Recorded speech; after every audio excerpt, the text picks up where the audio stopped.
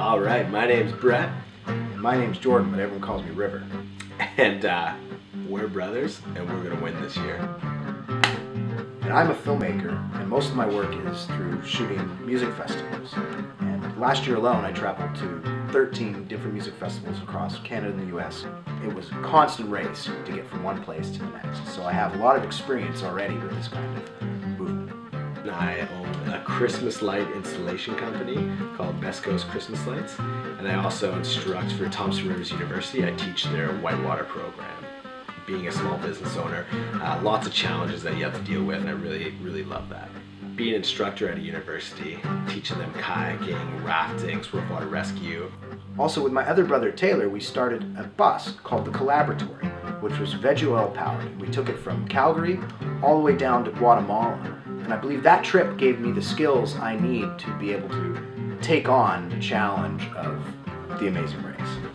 I've been kayaking now for four or five years and it's uh, brought me all over the world. It's just a very challenging sport.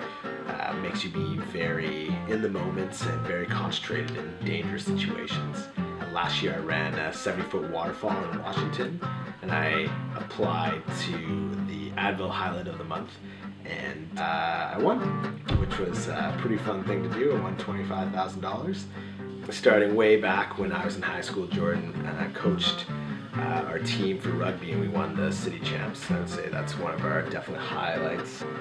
Another good challenge we've undertaken is the two of us have been to Burning Man three times together, and our first trip to Burning Man was on the CoLaboratory bus with about 20 crazy hippie kids, and trying to get everybody in line to keep moving to our destination is something that's really forged our ability to take on challenges like this.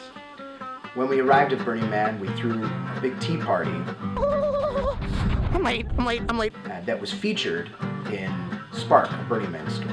River is very enthusiastic and very motivated. He's super calculated with everything that he does. Without planning ahead of time, I think it's going to save us a lot of time in the long run. So Brett's very action sports orientated and he's very driven and he'll constantly keep pushing the whole team forward and he'll get everybody past the finish line. We're going to meet a lot of friends here that are going to be friends for a long time. It really comes down to that we're just going to be hilarious people to watch on TV, and uh, we may but uh, butt the heads a little, but we're going to win this race. We can't wait to see you on Amazing Race Canada.